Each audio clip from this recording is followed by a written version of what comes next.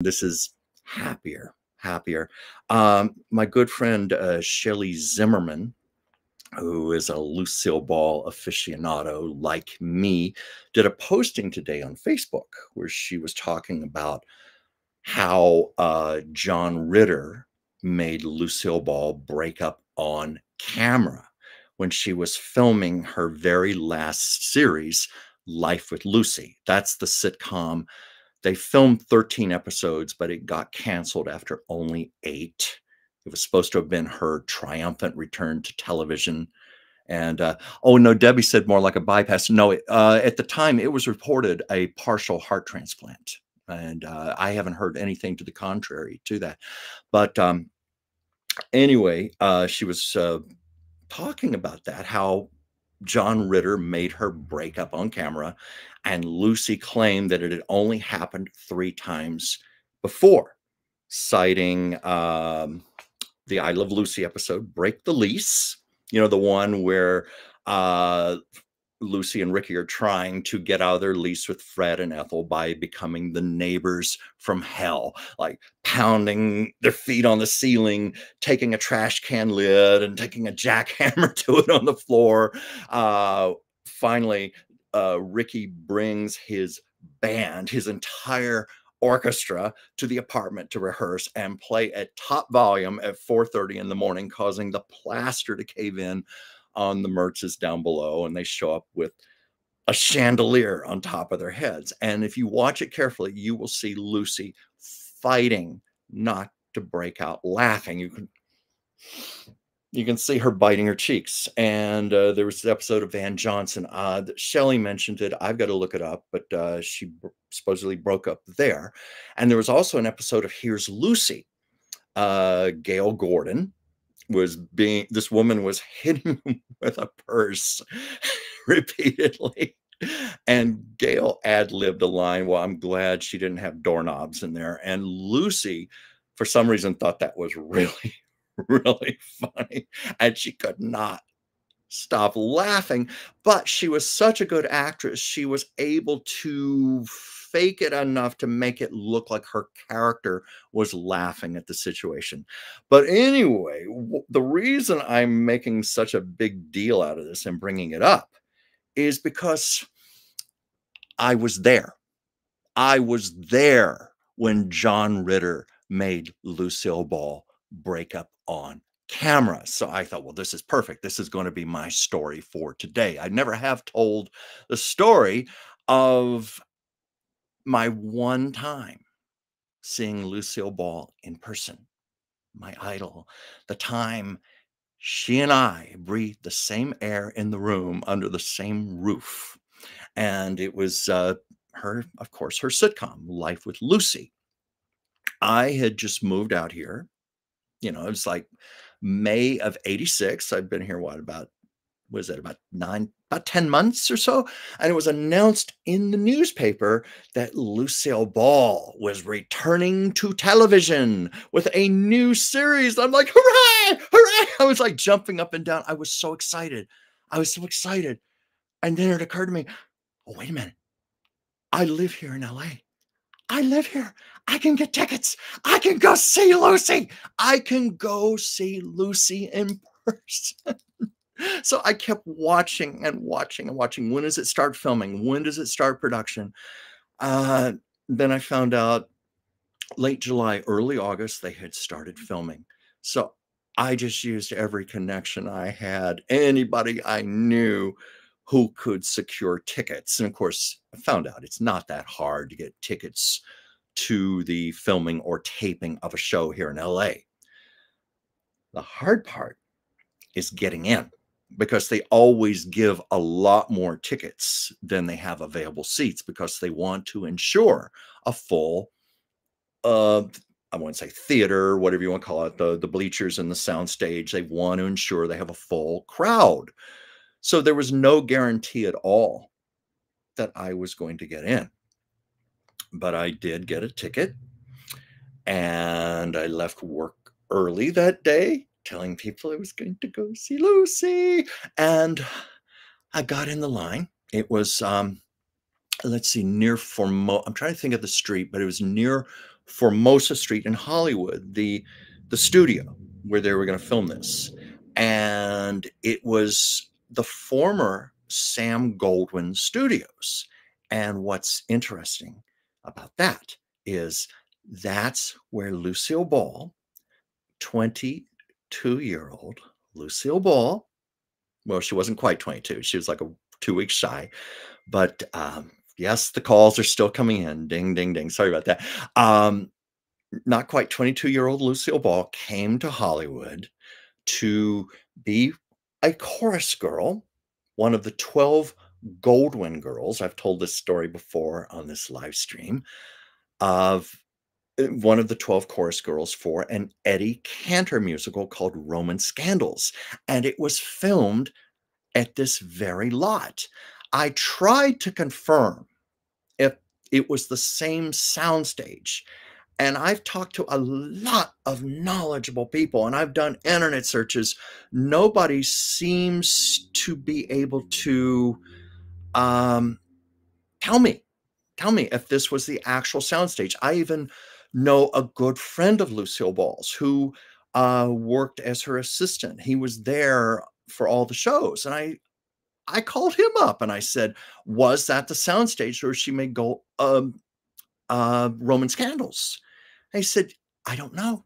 And he said, Lucy, her, she even gave me a tour of the lot and pointed out all the things and all. And he said, I don't recall her mentioning anything about which soundstage the movie was done on. I thought, well, that's a shame. But anyway, that's where Lucille Ball was doing her um, her final sitcom. She took her career full circle. That was where it began. And sadly, that's where it ended.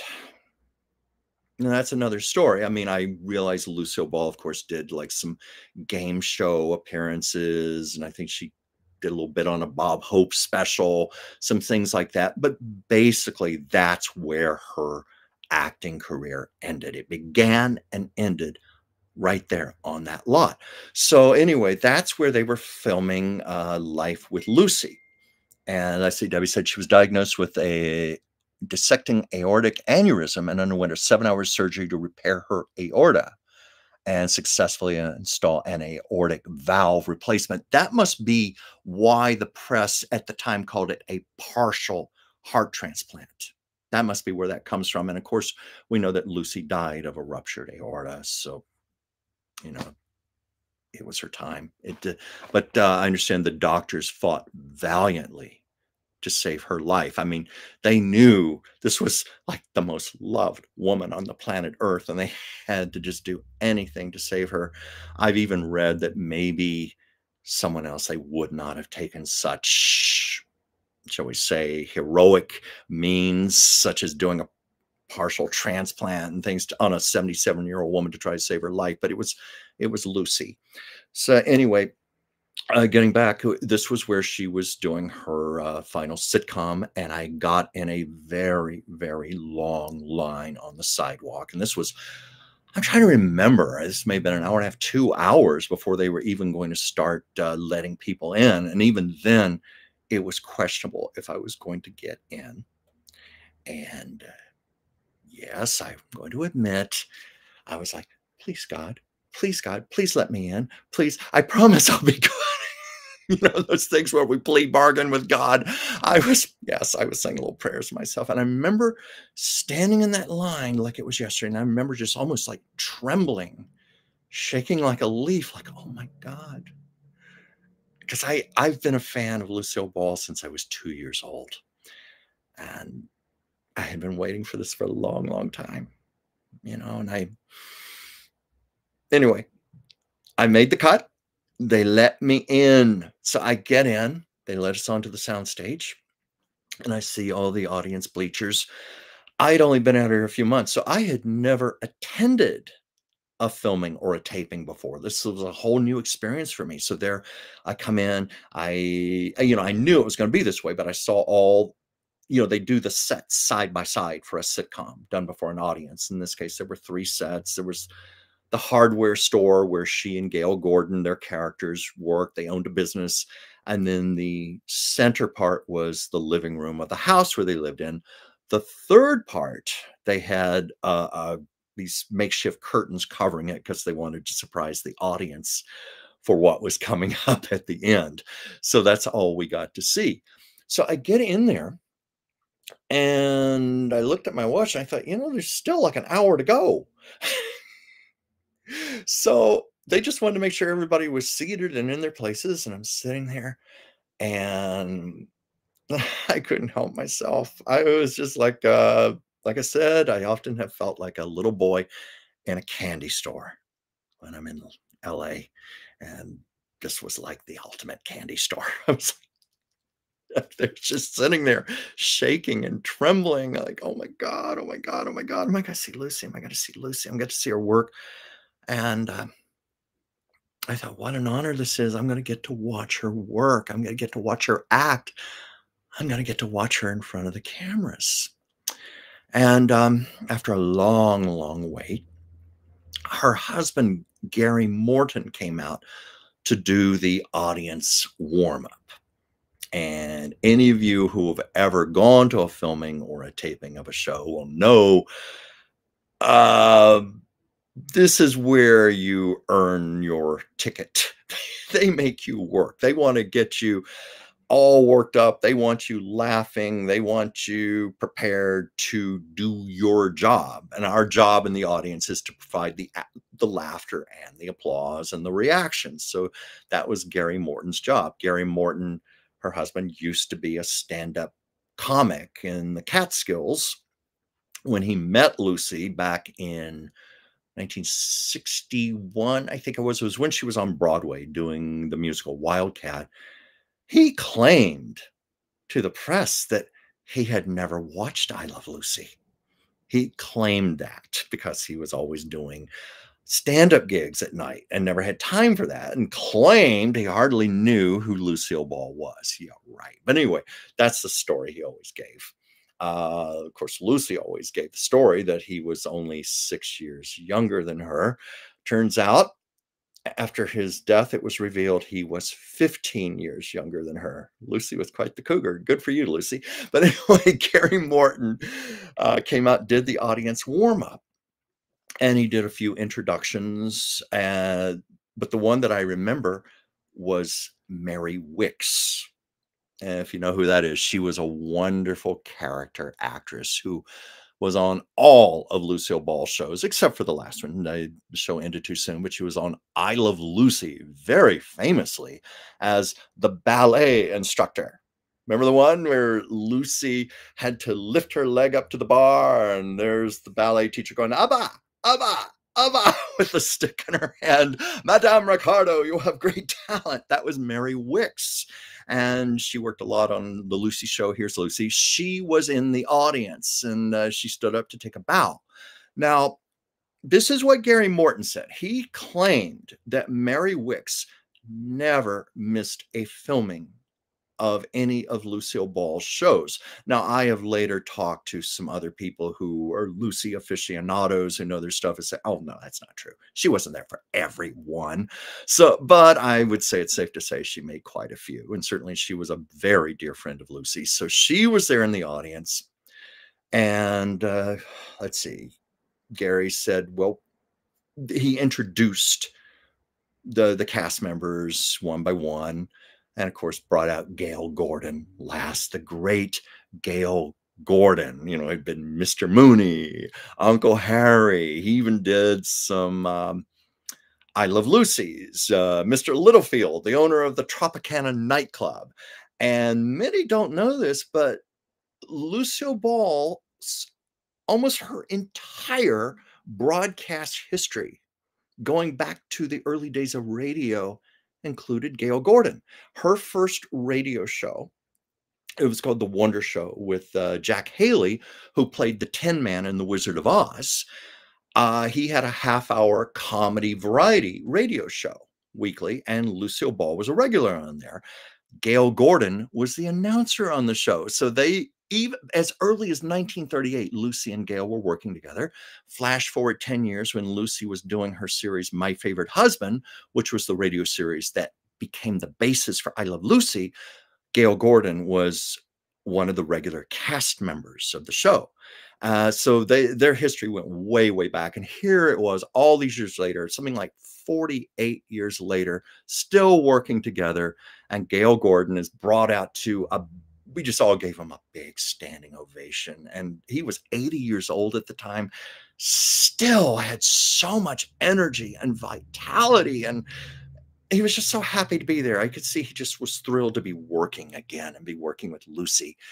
And um, Ruth Buzzi had a small part. He uh, Gary Morton introduced her, brought her out. I thought it was intriguing because she had actually been a guest star on Here's Lucy many years earlier.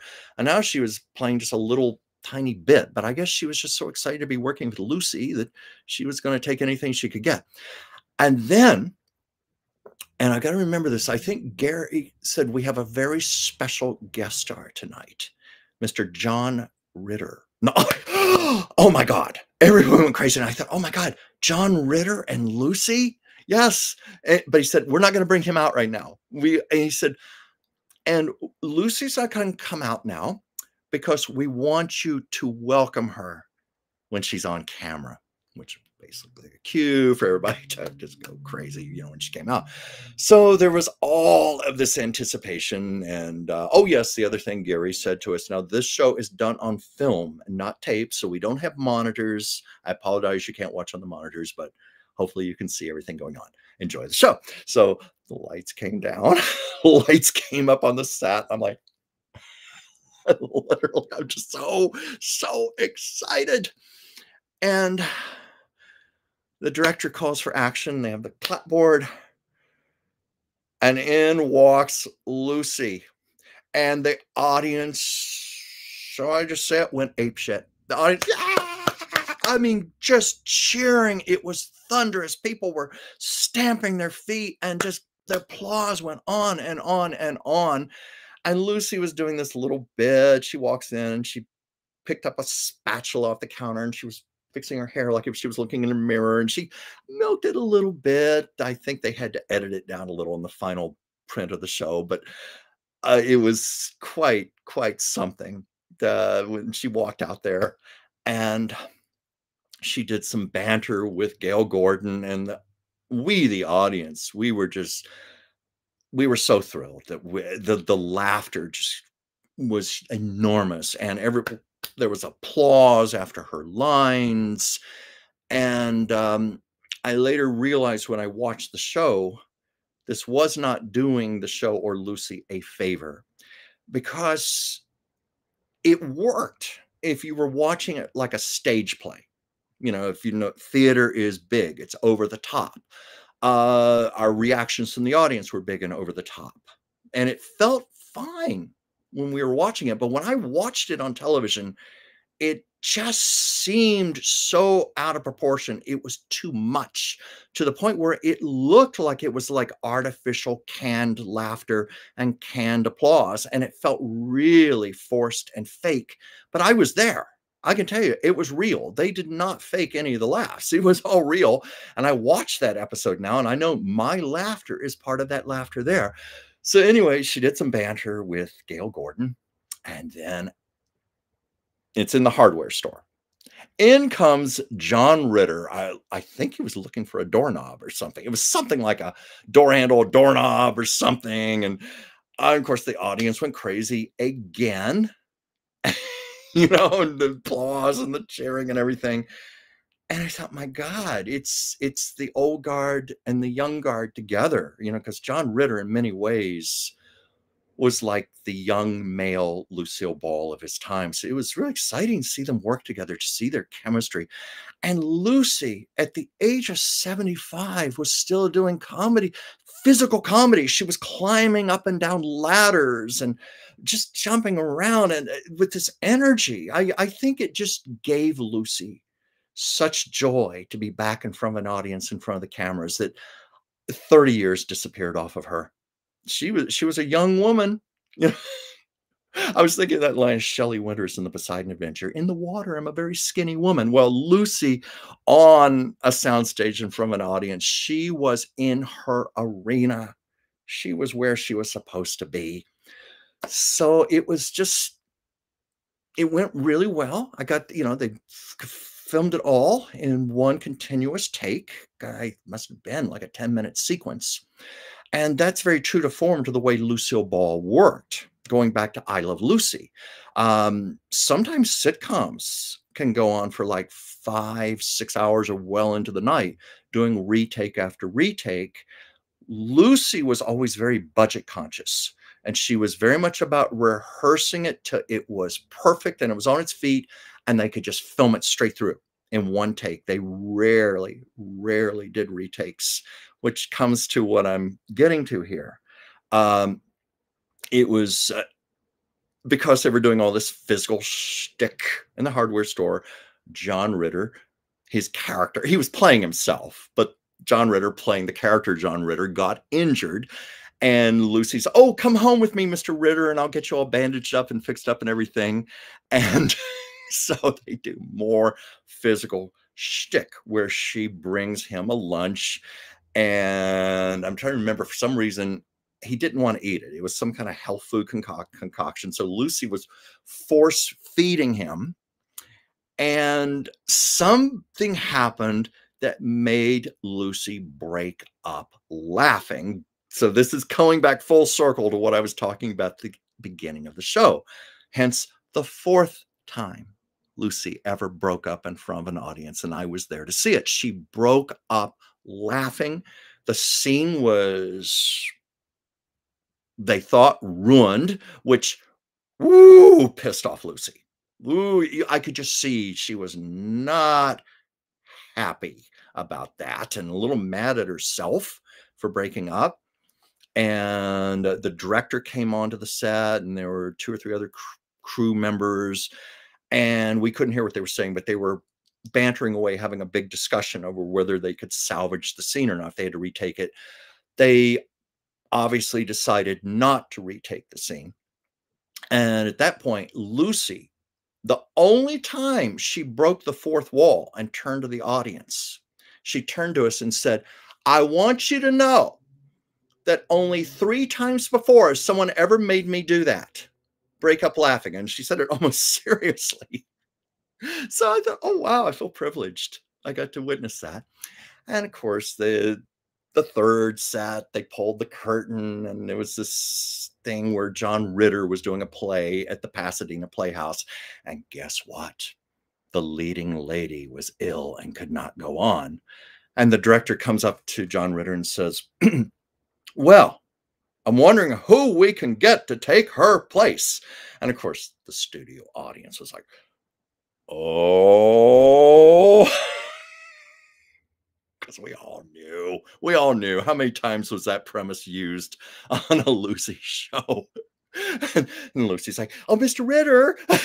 and of course, they do this wonderful bit where they're doing this schlocky play on stage and Lucy is sabotaging it and everything goes wrong and it's hysterical. And then John Ritter swallows a harmonica and she pokes his chest and little musical notes come out of his mouth. Anyway, that was my experience seeing Lucille Ball in person, watching a filming of the show. Oh, yes, I did shake hands with Gary Morton during a break in filming. And I asked him, Well, is Lucy going to come out?